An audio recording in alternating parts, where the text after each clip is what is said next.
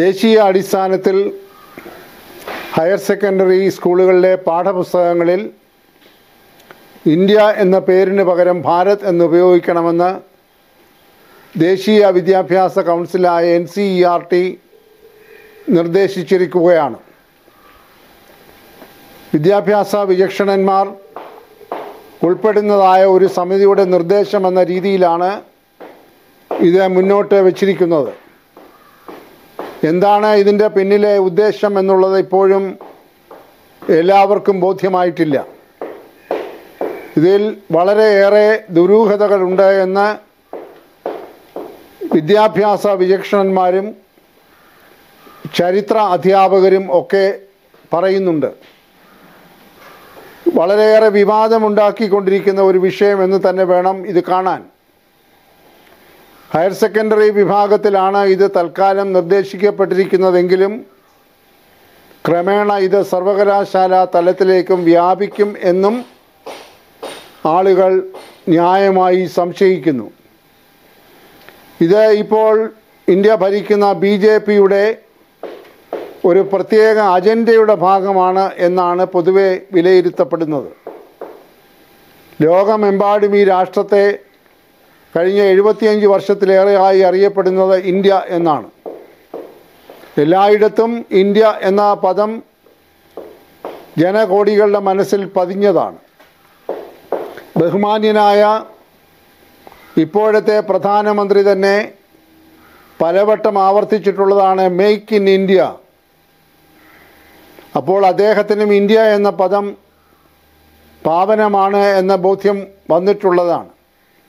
എന്നാൽ പെട്ടെന്ന് എന്തുകൊണ്ട് ഈ ഇന്ത്യയോടെ ഈ തരത്തിൽ ആ പദത്തോടെ ഒരു ചെറിയ വിരസത ഉണ്ടായത് എന്നതാണ് കൗതുകത്തോടെ ചരിത്രകാരന്മാരും വിദ്യാഭ്യാസ വിചക്ഷണരും ചർച്ച ചെയ്തുകൊണ്ടിരിക്കുന്നത്.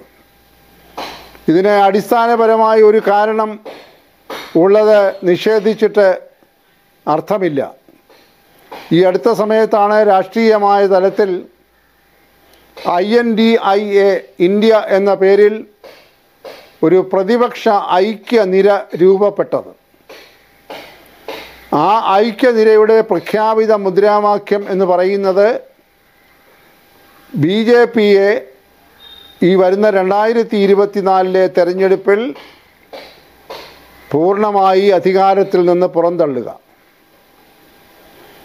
എന്ത് വില കൊടുത്തും ഒരു ബി ജെ പി മുക്ത ഭാരതം രണ്ടായിരത്തി ഇരുപത്തിനാലിൽ കെട്ടി ഉയർത്തുക എന്ന പ്രഖ്യാപിത ലക്ഷ്യത്തോടെയാണ് ഈ I N D I A India എന്ന സഖ്യം മുന്നോട്ട് വന്നിരിക്കുന്നത്. ഒരു പക്ഷേ ഇത് ബി ജെ പി വൃത്തങ്ങളിൽ ചെറിയ ആശങ്കയ്ക്ക് വഴിവെച്ചിട്ടുണ്ട് എന്ന് ന്യായമായി വേണം കരുതാൻ. ആ പദം ഏതെങ്കിലും തരത്തിൽ രാഷ്ട്രീയമായി ദുർവിനിയോഗം ചെയ്യപ്പെടുമോ എന്നുള്ള ഒരു വലിയ ഭയമാണ് ഇപ്പോൾ ആ പദത്തെ ആവുന്നത്ര ഉപേക്ഷിക്കാനായി നടത്തുന്ന ശ്രമത്തിന്റെ പിന്നിൽ. പക്ഷേ അത് വളരെ സങ്കടകരമാണ് എന്ന് പറയാതിരിക്കാൻ നിവർത്തിയില്ല. വിദ്യാർത്ഥികളുടെ മനസ്സിലൊക്കെ ഇന്ത്യ എന്നത് ഒരു വികാരമാണ്.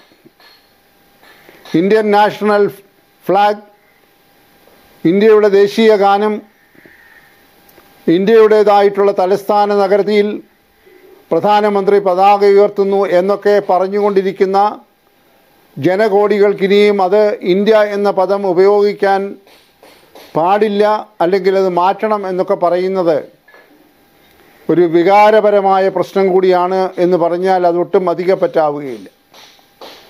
ഭരണഘടനയിൽ തന്നെ ഇന്ത്യ എന്നറിയപ്പെടുന്ന ഭാരത് അല്ലെ ഭാരത് എന്നറിയപ്പെടുന്ന ഇന്ത്യ എന്നൊക്കെ തത്തുല്യ പദങ്ങളായി ഉപയോഗിച്ചിട്ടുണ്ട്. അതുകൊണ്ട് ഇതേത് ശരി ഏത് തെറ്റ് എന്ന് പറയുവാൻ ആർക്കും സാധ്യമല്ല. ഇന്ത്യ എന്ന പദം ഭരണഘടനയിൽ ഉപയോഗിക്കുമ്പോൾ അത് ഏതെങ്കിലും പ്രത്യേകമായ ഒരു വിഭാഗത്തെയോ സഖ്യത്തെയോ രൂപീകരിക്കുന്നതാണ് എന്ന് അന്ന് കോൺസ്റ്റിറ്റ്യുവന്റ് അസംബ്ലിയിലോ ഭരണഘടനയുടെ പിതാക്കന്മാരോ കരുതിയിരുന്നില്ല. എന്നാൽ എത്ര സങ്കുചിതം എന്ന് തന്നെ പറയേണ്ടിയിരിക്കുന്നു. ഇപ്പോഴത്തെ ഭരണകക്ഷിക്ക് ഈ പദം വളരെയേറെ അസ്വസ്ഥത ഉണ്ടാക്കി തുടങ്ങിയിരിക്കുന്നു. അതിന് വളരെ വിചിത്രമായ ന്യായവാദങ്ങളാണ് ഇതിന്റെ അധ്യക്ഷനായ ഒരു മുൻ ചരിത്ര കോളേജ് അധ്യാപകൻ മുന്നോട്ട് വെച്ചത്. അത് ഞാനിവിടെ ആവർത്തിക്കാൻ ശ്രമിക്കുന്നില്ല. അദ്ദേഹം ഒരുപാട് പുരാണങ്ങളും ഒരുപാട് വേദങ്ങളും ഒരുപാട് പൂർവ ചരിത്രങ്ങളുമൊക്കെ ഉദ്ധരിച്ചാണ് ഇതിനെ ന്യായീകരിക്കാൻ മാധ്യമങ്ങളുടെ മുൻപിൽ പ്രത്യക്ഷപ്പെട്ടുകൊണ്ടിരിക്കുന്നത്. അതിന്റെ ന്യായീകരണത്തിലേക്കൊക്കെ പോകുമ്പോൾ നിരവധിയായിട്ടുള്ള വാദമുഖങ്ങൾ ഉയർത്തേണ്ടതായിട്ട് വരും. എന്തായാലും ഒരു കാര്യം വളരെ വ്യക്തമാണ്. അത്ര വേഗത്തിൽ ഈ പദം മനുഷ്യരുടെ മനസ്സിൽ നിന്ന് മായിച്ചു കളയുക അത്ര എളുപ്പമല്ല. ഇന്ത്യ എന്ന പദം ഓരോ ഭാരതീയന്റെയും ഓരോ ഇന്ത്യക്കാരന്റെയും ഹൃദയത്തിൽ സ്ഥാനം പിടിച്ചതാണ്. ജനകോടികൾ ഇന്ത്യയ്ക്ക് പുറത്തും ഇന്ത്യക്കാർ തൊഴിൽ സംബന്ധമായും അല്ലാതെയും പ്രവർത്തിക്കുന്നുണ്ട്. ഇപ്പോൾ ഏറ്റവും ഒടുവിൽ വരുന്ന വാർത്ത ഇന്ത്യയുടെ പൗരത്വം ഉപേക്ഷിച്ച് വിദേശ രാജ്യങ്ങളിലെ പൗരത്വം സ്വീകരിച്ചിരിക്കുന്ന ആളുകളുടെ എണ്ണം വർദ്ധിച്ചുകൊണ്ടിരിക്കുന്നു എന്നാണ്. American ഐക്യനാടുകളിലും United Kingdom Canada Australia New Zealand തുടങ്ങിയ രാജ്യങ്ങളിലും ഇന്ത്യക്കാരുടെ കുടിയേറ്റം ഇപ്പോൾ വർദ്ധിച്ചുകൊണ്ടിരിക്കുകയാണ്. തൊഴിൽ സംബന്ധമായും ഉന്നത വിദ്യാഭ്യാസ സംബന്ധമായും അനേകം ഇന്ത്യക്കാർ ഇപ്പോൾ വിദേശ രാജ്യത്ത് ചേക്കേറുകയാണ്. ആത്യന്തികമായി അവർ ആരും മടങ്ങി വരാൻ ആഗ്രഹിക്കുന്നില്ല. അതിന്റെ കാരണങ്ങളിലേക്ക് ഇപ്പോൾ പോകുന്നില്ല. അപ്പോൾ ഇന്ത്യക്കാരായിട്ടുള്ള ആളുകൾ ഇന്ത്യയുടെ പൗരത്വം ഉപേക്ഷിക്കുക എന്ന് പറയുന്നത് ചെറിയ കാര്യമല്ല. ഒരു അമേരിക്കൻ പൗരൻ അവൻ ജനിക്കുന്നത് മുതൽ മരിക്കുന്നത് വരെ അവൻ അവന്റെ പൗരത്വം സംരക്ഷിക്കും. ഒരു ഓസ്ട്രേലിയക്കാരനോ ഒരു കാനഡക്കാരനോ അവന്റെ ജന്മനാടിന്റെ പൗരത്വം ഉപേക്ഷിക്കാൻ അവൻ ഒരു താല്പര്യവും കാട്ടുകയില്ല. എന്നാൽ ഈ തരത്തിൽ ഭരണകൂടം ചിന്തിച്ചു തുടങ്ങുമ്പോൾ ഭാരതീയർ പോലും അതിനെ കവത്തി കവത്തി ചിന്തിക്കുന്ന രീതിയിൽ തുടക്കം കുറിച്ചിരിക്കുന്നു എന്നതാണ് ഇത് നൽകുന്ന വലിയ സന്ദേശം സൂചന. അതൊരിക്കലും ഒരു ആശാസ്യകരമായ സന്ദേശമോ സൂചനയോ അല്ല.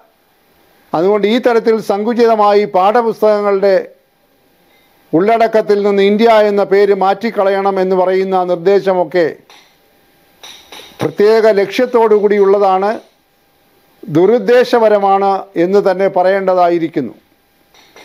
ഇതൊരു തുടക്കം എന്ന രീതിയിൽ വേണം ഇതിനെ കാണാൻ. ഇത് സർവകലാശാല തലത്തിലേക്ക് വ്യാപിക്കുമ്പോൾ സർവകലാശാല വിദ്യാർത്ഥികൾക്കും സർവകലാശാല വിദ്യാഭ്യാസത്തിനും ഒക്കെ ഉണ്ടാകാൻ പോകുന്നതായിട്ടുള്ള ആഘാതങ്ങൾ ലോക ഭൂപടത്തിൽ എത്ര വലുതായിരിക്കുമെന്നുള്ളത് കാണേണ്ടിയിരിക്കുന്നു. അതുകൊണ്ട് ഈ തരത്തിലുള്ള നീക്കങ്ങൾ ഉപേക്ഷിച്ചിട്ട്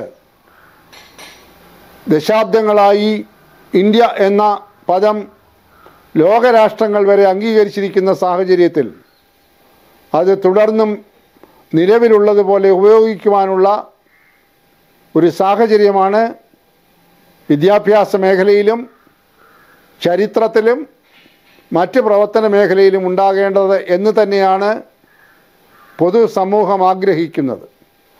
അതിനെതിരായിട്ടുള്ള ഏത് നീക്കത്തെയും പൊതുസമൂഹം സന്തോഷത്തോടെ സ്വീകരിക്കുകയില്ല. മറിച്ച് അതിനകത്ത് ദുരുദ്ദേശമുണ്ട് എന്ന് ഖണ്ഡിതമായി വിശ്വസിക്കുവാൻ നിർബന്ധിതരാകുന്ന ഒരു സാഹചര്യം ഉണ്ടാവുകയും ചെയ്യും എന്ന് വേണം കരുതേണ്ടിയിരിക്കുന്നത്.